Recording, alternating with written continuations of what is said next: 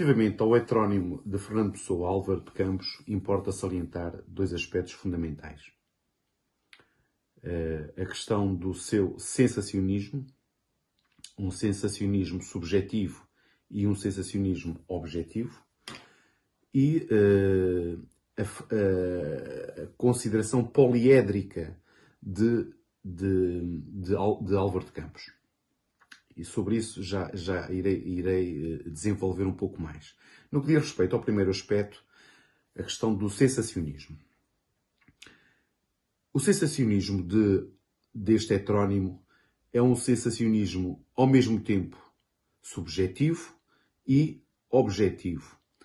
Ou seja, eh, nós eh, poderemos encarar o, o, o sensacionismo subjetivo de, de Álvaro de Campos como um sensacionismo que privilegia essencialmente o sujeito uh, e uh, um sensacionismo objetivo que uh, reenvia para uma consciência da sensação.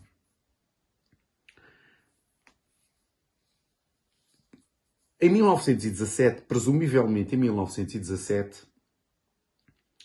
Álvaro, Fernando Pessoa diz o seguinte: Caeiro tem uma disciplina. As coisas devem ser sentidas tais como são. Ricardo Reis tem outra disciplina diferente. As coisas devem ser sentidas não só como são, mas também de modo a integrarem-se num certo ideal de medida e regra clássicas. Em Álvaro de Campos, as coisas devem ser simplesmente sentidas. Ou seja, pessoa considera que, para Caeiro, uh, a sensação das coisas devem ser encaradas como elas são, ou seja, o, o que interessa é o objeto, não o sujeito. Para Reis, para Ricardo Reis, uh, ou melhor, Ricardo Reis, segundo uh, a perspectiva do, do, do, do, seu criador, de Fernando Pessoa, equilibra um objetivismo com o subjetivismo e Campos, uh, o que interessa fundamentalmente para Campos, nesta, nesta, nesta referência que, que pessoa faz a, uh, aos, seus, aos seus heterónimos, o que interessa é o sujeito e não o objeto, ao contrário, portanto, de uh, Alberto Queiro. E depois continua a dizer, a propósito de Campos, para Campos, a sensação é tudo, sim, mas não necessariamente a sensação das coisas como são, antes das coisas conforme sentidas. De modo que Campos vê a sensação subjetivamente. Isto é, a sensação, para Álvaro de Campos, é a base de conhecimento. Uh, aquele sentir tudo de todas as maneiras é no fundo, a fórmula-chave da poética de Álvaro de Campos, aquela intensidade ilimitada, aquela ânsia do, de, de absoluto, com a consequente fragmentação do sujeito. Relativamente ao sensacionismo objetivo, uh, Campos pratica instruções programáticas do sensacionismo. Em, num texto de provavelmente 1916, Pessoa diz o seguinte: depois de uma sensação ser concebida como tal, essa sensação passa a ser concebida como intelectualizada, o que dá o poder de ela ser expressa.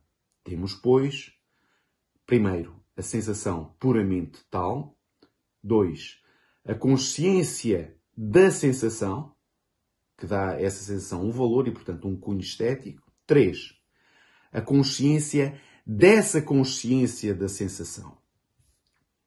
Há, portanto, em Campos, uh, a presença da, ou melhor, melhor dizendo, a sensação em Álvaro de Campos aparece duplamente consciencializada, o que permite uh, imprimir uma maior também, também uma maior objetividade uh, a, esta, a, esta, a esta questão. O mais importante, no entanto, relativamente a Álvaro de Campos, é aquilo que diz respeito ao facto à circunstância de ele, de ele poder ser encarado como um poeta poliédrico. Não, um, aliás, um poeta com diversas facetas. Uh, e não, isto é importante, e não um, um, um poeta que tem, passa por diversas fases. Não. E vão perceber porquê. Poeta poliédrico. Porquê? É um poeta, primeiro, o que é que se entende por ser, enfim, quando nós dizemos que Álvaro de Campos é um poeta poliédrico, é um poeta que apresenta uma faceta decadente, uh, apresenta uma, uma, uma faceta sensacionista, triunfalista, e uh, apresenta uma faceta desencantada. A faceta decadente é bem visível no opiário, que, lembro, foi um texto foi publicado em Orfeu, na revista Orfeu 1, no número 1 da revista Orfeu, em março de 1914. E agora, reparem, foi um texto escrito depois uh, da Ode Triunfal. Este texto, o Opiário, é um texto que pré-anuncia o fracasso do sensacionismo. O seu desejo de calma e não da confusão sensacionista. É um texto uh, escrito supostamente durante uma, enfim, durante uma viagem que o, o Álvaro de Campos uh, fez ao Oriente. É um texto marcado por um, um evidente desencanto por um, um, um cansa, uma ideia de cansaço, uh, por uma desilusão também com o Oriente. Uh, um texto onde o sujeito poético procura alguns a sua pátria. E tudo neste texto, tudo uh, neste opiário, tudo conduz ao tédio, ao absurdo a parte sensacionista, eh, ou melhor, a faceta sensacionista de Álvaro de Campos, a faceta triunfalista e sensacionista, uh, aparece de forma muito evidente em dois textos uh, conhecidos. São textos centrais na produção poética de Álvaro de Campos. A Ode Triunfal, de junho de 1914, e a Ode Marítima, de 1915. São textos uh, que uh, representam signos, são textos poéticos que representam signos da modernidade. Transportes, os transportes, as proezas técnicas, uh, as máquinas, as fábricas. E nesse texto, aliás, os dois textos são percorridos por uma constante hipertrofia das sensações. Mas são marcas que todas essas marcas, todos esses signos de, de modernidade, marcam excessivamente o sujeito. A Ode Triunfal, eh, que foi publicado, eh, foi publicada no número 1 da revista Orfeu, é um texto poético, é uma ode eh, que eh, transporta consigo um conjunto diverso de signos da modernidade considerados então menos poéticos. E é um texto que aponta também para o excesso que esses signos provocam no sujeito. A palavra triunfal ao reenvia para uma ideia de hiperbolização. Eh, de facto, nota-se neste, neste, nesta ode triunfal uma ruptura com, a, com a, a lírica tradicional portuguesa. Seja pela irregularidade uh, no número de versos, uh, seja pelos desvios sintáticos, fera para a beleza disto, frutos de ferro e, e, útil da árvore, fábrica cosmopolita, enfim. Palavras consideradas, até aí consideradas, menos dignas do reduto poético. Máquinas, eh, motores, cartazes, fábricas, eh, êmbolos, eh, correias de transmissão, guindastes, armamento, enfim. À primeira vista, este texto, Ode Triunfal, remete-nos para uma noção de, de facto, de triunfalismo, de entusiasmo. O sujeito é como que uh, o cantor da civilização moderna, da civilização comercial, da civilização industrial. E a fábrica é o motivo inspirador. No entanto, logo no início, dolorosa luz, logo no início, a noção de alguma dor. O sujeito poético procura transmitir uh, esta, uh, ou pelo menos avisa de alguma forma o leitor para a dor que o excesso, que o triunfalismo poderá, uh, a que o triunfalismo poderá conduzir. Temos um poeta, um sujeito poético, transportado para o meio de um ruído de uma fábrica e, paulatinamente, pouco a pouco, uh, o movimento avassalador e vertiginoso vai, vai assumindo protagonismo. Nesse movimento, o sujeito poético é como que arrebatado pelos movimentos das máquinas. Ah, poder exprimir-me como um motor se exprime, ser completo como uma máquina. A comparação metafórica. Ponto de partida. Depois, a acumulação das coisas, a multiplicidade das sensações. O sujeito ama de todas as maneiras.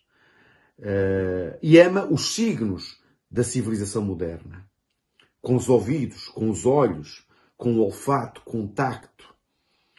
Uh, verificamos neste texto um andamento, encontramos neste texto um andamento delirante.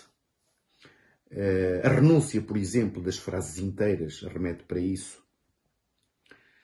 A realidade, essa realidade moderna, eh, essa realidade eh, que representa, eh, de facto, um, contexto civilizacional do, do início do século XX, essa realidade plena, grávida de, de signos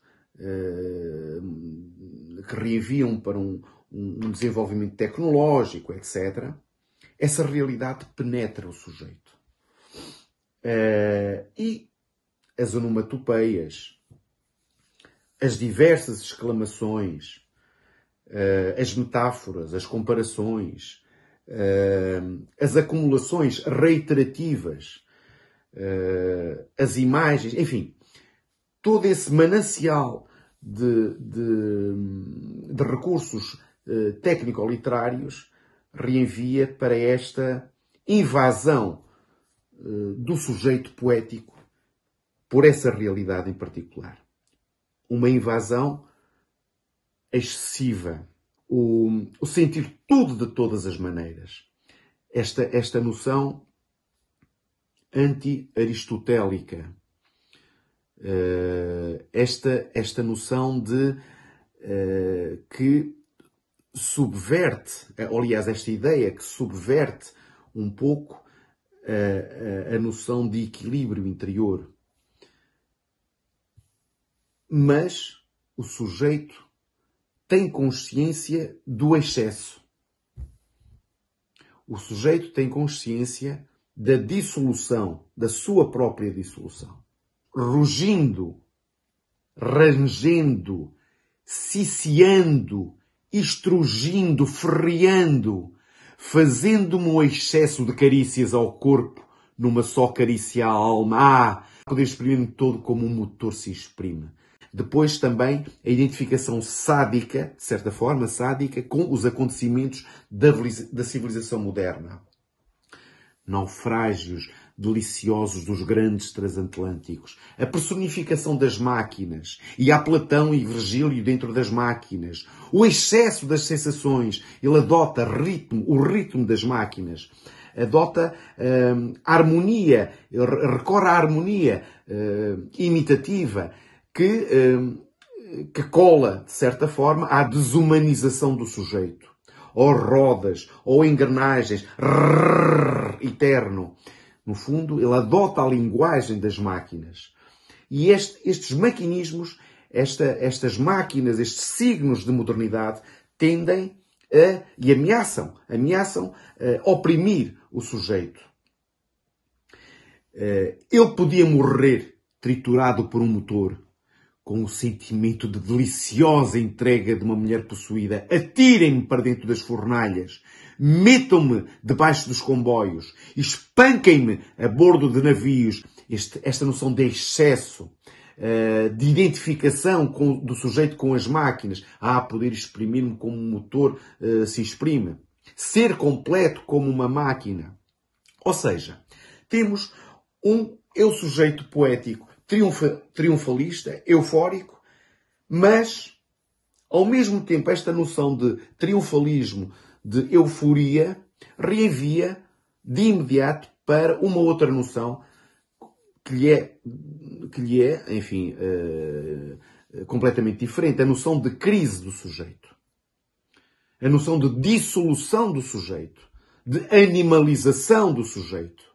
Porque o sujeito, de facto, o sujeito poético, canta o excesso, mas o sujeito poético perde a sua própria, a sua própria identidade porque se, eh, porque se identifica e porque encarna essa, essa, essa máquina, esses signos de, de modernidade.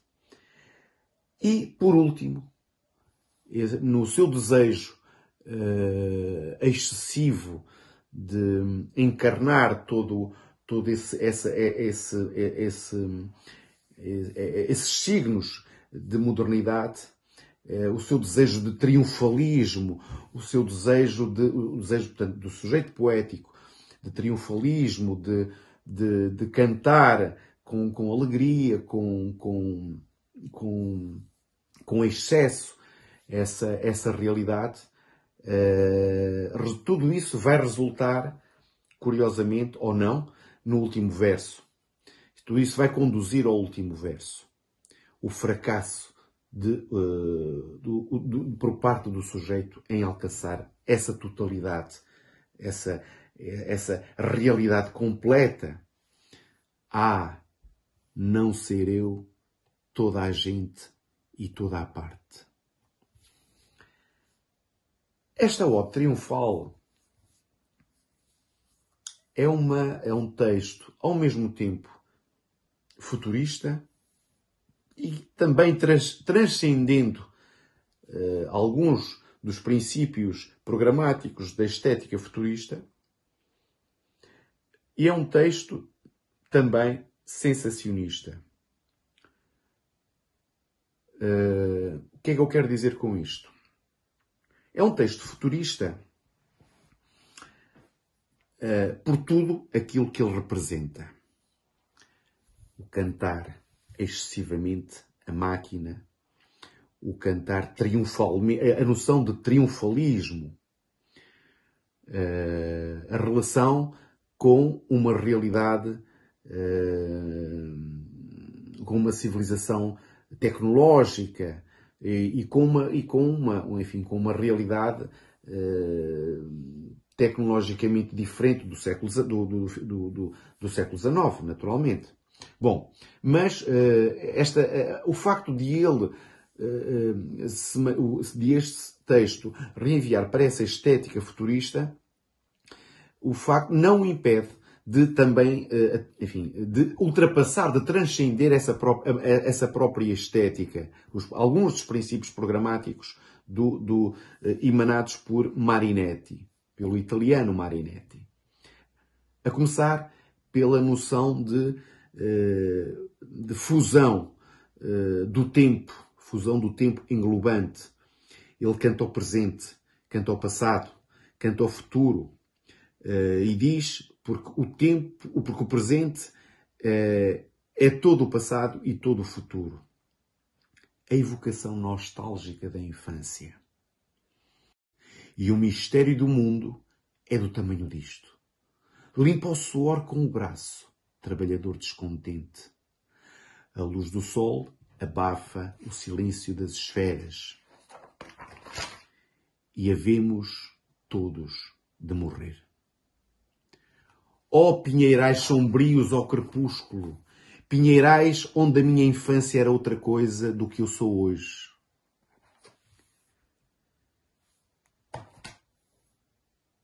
Ode triunfal, sensacionista.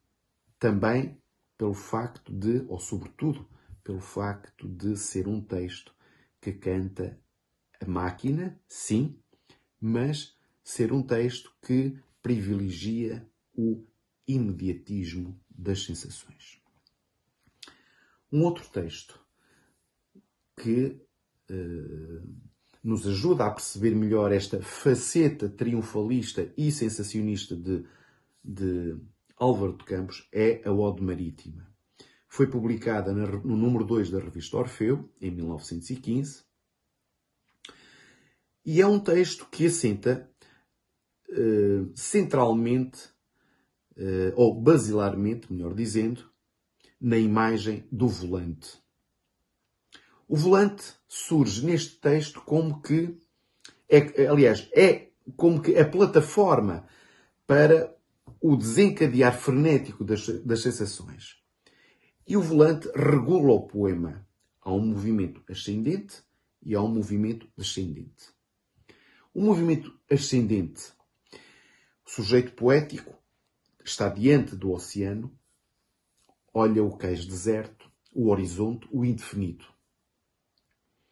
O navio aproxima-se lentamente. E o sujeito identifica-se com o sentido marítimo da hora nesse momento, um volante interior, essa imagem do volante interior, essa catapulta, essa plataforma, começa a trabalhar. Põe-se em movimento. Dentro de mim, um volante começa a girar lentamente. Dentro de mim. E dentro de mim, um volante começa a girar lentamente. Depois evocam-se coisas, personagens, factos ligados à vida marítima. O ritmo do volante altera-se, vai-se alterando. A imaginação do sujeito afasta-se do cais marítimo e procura integrar um cais absoluto, que é o cais paradigmático de todos os cais. E o volante acelera-se mais um pouco. O ritmo do volante acelera-se. O ritmo do volante é mais rápido, é mais vivo. E por parte do sujeito poético há, perdão, um desejo cada vez maior de identificação com os elementos marítimos. As minhas sensações são um barco. Minha, a minha imaginação uma âncora, minha ânsia um remo. O movimento do volante acelera-se ainda mais. Intensifica-se o desejo da vida marítima. O movimento do, do volante acelera ainda mais, amplifica-se e sacode o sujeito poético. O sujeito poético entra em êxtase o movimento do volante acentua-se. O êxtase em mim levanta-se, cresce, avança e com o ruído cego da arruaça acentua-se o giro vivo do volante. O movimento do poema torna-se mais eufórico. Acumulam-se as onomatopeias. O sujeito deseja integrar corpos dos homens do mar, dos piratas, uh, corpos piratas, de, de comerciantes, de, de, comerci de marinheiros, esse, esse, essa, essa perda do eu, o sujeito perde a sua, a sua, a, a sua identidade, vai perdendo a sua identidade porque se vai identificando com todos os signos da vida marítima. A linguagem modifica-se com reiterações, com anáforas, com gritos, eh, uma noção, enfim, uma, uma ideia de quase sadomasoquismo, eh, no sentido de o sujeito poético, e isto tem que ser encarado, obviamente, com muito cuidado e, muito, e muita consciência daquilo que se está a dizer. O sujeito poético deseja perder-se uh, na realidade. Porquê? Porque deseja identificar-se com tudo e com todos. Uh, com tudo e com todos desse contexto marítimo. A time, uh, às viagens, uh, a time às viagens como apostes, que me rasgueis, mateis, firais, o que quero é levar para a morte uma alma a transbordar de mar. O sujeito quase que se bestializa também. A certa altura ele diz, roço-me por tudo isto como uma gata com cio por um mural. Por um muro, peço desculpa. Roço-me por tudo isto como uma gata com cio por um muro.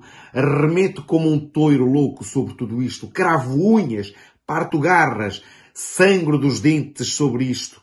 O desejo de identificação de totalidade. E essa, essa, esse desejo de, de, de, de totalidade progride até ao, ao desejo final, que é o desejo de identificação com Deus. Era preciso ser Deus, o Deus de um culto ao contrário, um Deus monstruoso e satânico, um Deus de um panteísmo de sangue, para poder encher toda a medida da minha fúria imaginativa. Fazei de mim as vossas vítimas todas, como Cristo sofreu por todos os homens, quer sofrer. E neste momento o, o, o, o, volante, o movimento do volante torna-se histérico. É cada vez mais intenso.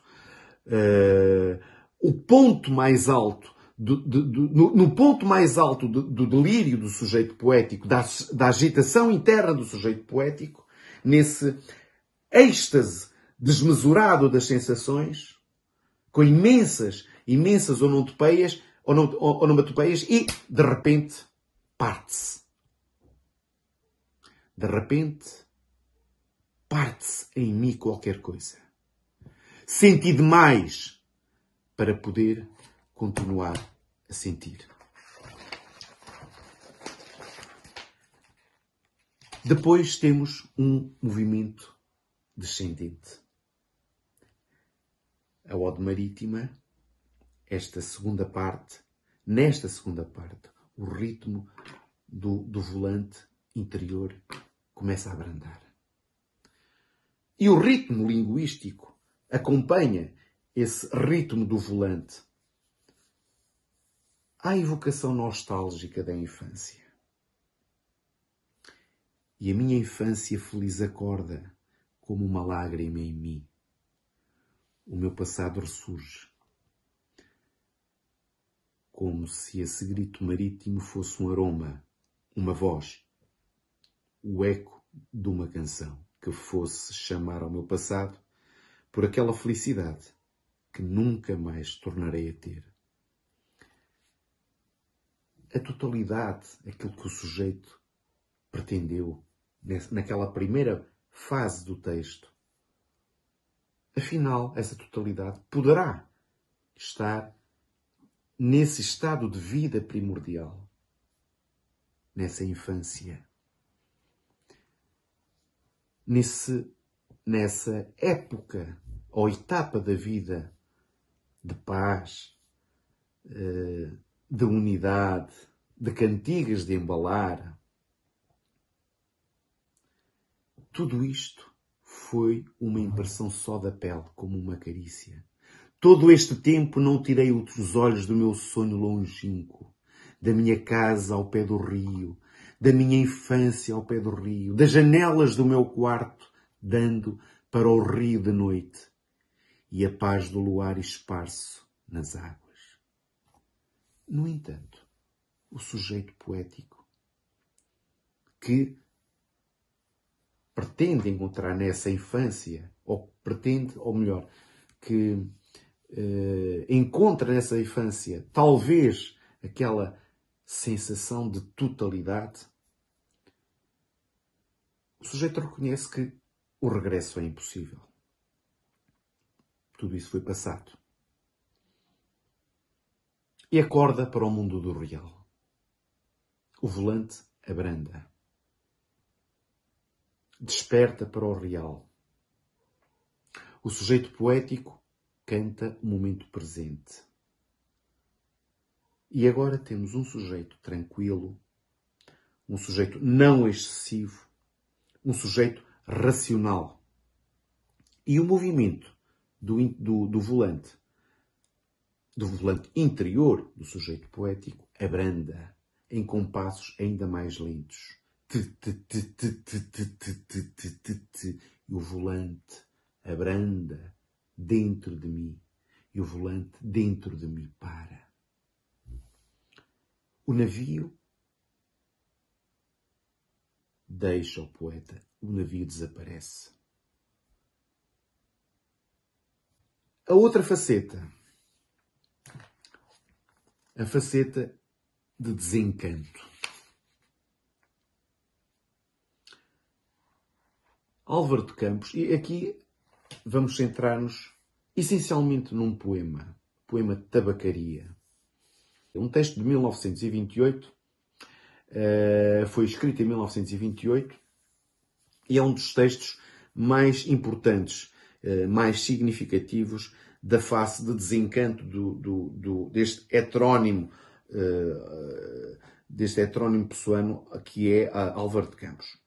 E é um texto que denota uma ruptura evidente com as ilusões, com as euforias da, da, da modernidade. É um texto que assenta primordialmente em três eixos semânticos, todos eles naturalmente interrelacionados. Uma ideia de totalidade, uma ideia de negatividade e uma ideia de essência. Já vou explicar. Uh, há um conjunto de dualidades. Aliás, o texto em si é construído um, sobre diversas dualidades temáticas. Nada, tudo, uh, vitória, derrota, uh, particular, uh, geral, exterior, interior. É um título que reenvia para também tabacaria. É um título que reenvia para um, para um prazer passageiro. Ou seja, no, o próprio título carrega consigo a noção de fugacidade. Uh, e porquê? Enfim, pensemos na, nos objetos, uh, enfim, alguns deles superficiais ou não, mas enfim, que, que se compram em tabacarias, uh, a começar também pelo, pelo próprio tabaco.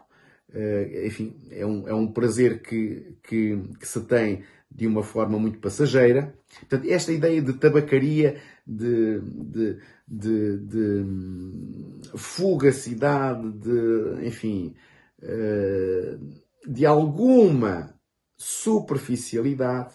Bom, três etapas eh, marcam essencialmente este texto. A primeira, observação pelo circundante. A segunda, autoanálise com uma ponderação autobiográfica por parte do sujeito poético. A terceira, o reconhecimento definitivo do seu derrotismo. No que à primeira uh, etapa de respeito, observação pelo circundante, é visível no sujeito poético um marcado nihilismo, um marcado derrotismo. Não sou nada. Nunca serei nada. Não posso querer ser nada. À parte disso, tenho em mim todos os sonhos do mundo. A ideia de derrotismo, de nihilismo comparece também noutros versos. Estou hoje vencido, como se soubesse a verdade. Estou hoje lúcido, como se estivesse para morrer. E pouco depois diz: Estou hoje perplexo, como quem pensou e achou e esqueceu. Estou hoje dividido entre a lealdade que devo à tabacaria do outro lado da rua, como coisa real por fora, e à sensação de que tudo é sonho, como coisa real por dentro. Tudo é nada. Todos os esforços para achar a verdade são inúteis. Um segundo, uma segunda etapa, um segundo momento deste texto, a autoanálise que o sujeito poético leva a cabo. Com, enfim, a sua ponderação quase que autobiográfica. Nessa, nessa autoanálise é tão evidente a carga de ceticismo, de descrença. Uh, ele, sujeito poético, que procurou a totalidade, que procurou uh, uh, que procurou essa totalidade no discurso da religião, na religião, na filosofia, na história. Ele diz: Tenho sonhado mais que o que Napoleão fez. Tenho apertado ao peito hipotético mais humanidades do que Cristo. Tenho feito filosofias em segredo que nenhum Kant escreveu. E esta ambição do sujeito é uma ambição desmedida, própria, aliás, da condição humana. Esta condição desmedida, como qualquer condição desmedida que se tenha sem algum peso racional, esta ambição desmedida conduz o sujeito poético à desilusão. Serei sempre o que esperou que lhe abrissem a porta ao pé de uma parede sem, parte, sem porta e cantou a cantiga do infinito numa capoeira e ouviu a voz de Deus num poço tapado. Crer em mim não, nem em nada. Finalmente, a faceta ou a etapa uh, em que o sujeito poético reconhece definitivamente o seu derrotismo. O sujeito poético faz um balanço do seu percurso existencial, do seu percurso, melhor dizendo, do seu percurso biográfico.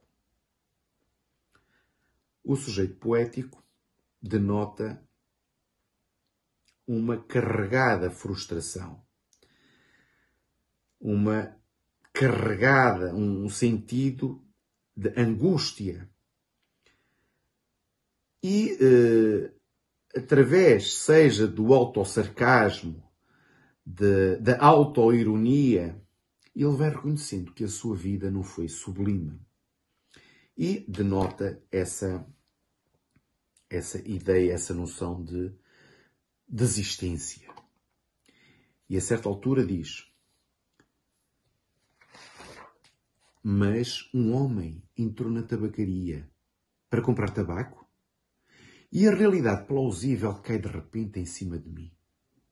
Se me ergo enérgico, convencido humano e vou tensionar e escrever estes versos em que digo o contrário, acendo um cigarro ao pensar em escrevê-los e saboreio no cigarro a libertação de todos os pensamentos. Sigo o fumo como uma rota própria e gozo, num momento sensitivo e competente, a libertação de todas as especulações e a consciência de que a metafísica é uma consequência de estar mal disposto. Depois, deito-me para trás na cadeira e continuo fumando. Enquanto o destino me conceder, continuarei fumando. O sujeito poético opta definitivamente pela escrita.